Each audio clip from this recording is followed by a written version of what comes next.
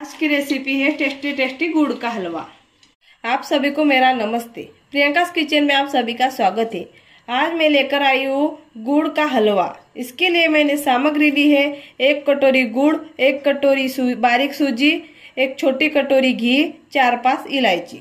अब मैंने इसमें डेढ़ ग्लास पानी उबलने के लिए रखा था। पानी अपना उबल चुका है। इसमें डालूँगी मैं गुड़। अब इस गुड़ की अपन अच्छी तरह से चाशनी बना लेते अभी अपना गुड़ अच्छी तरह से इसकी चाशनी बन गई है। पाँच दस मिनट ही इसको अच्छी तरह से उबलने देना। अब मैं गैस की फ्लेम बंद कर रही हूँ। अब मैंने गैस पे कढ़ाई रखी, इसमें डालूँगी मैं घी।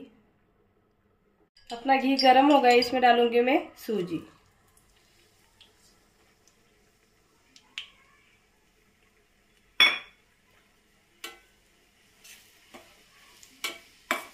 सूजी को मैं अच्छी तरह से घी में सेक लूँगी, चार पाँच मिनट के लिए।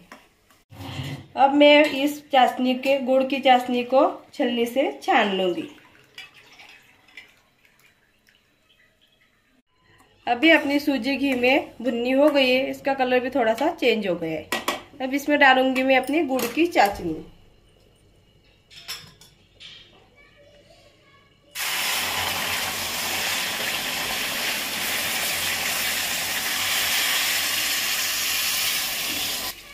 इसे अच्छी तरह से मिक्स कर लेना इसमें डालूँगी मैं अपनी इलायची। इसे भी मिक्स मिक्स कर लेते हैं। अभी अपना हलवा बनकर तैयार है। अपना हलवा बनकर तैयार है। अगर मेरे हलवे की रेसिपी अच्छी लगी तो मेरे वीडियो को लाइक चैनल को सब्सक्राइब और शेयर कर दीजिए। Please thank you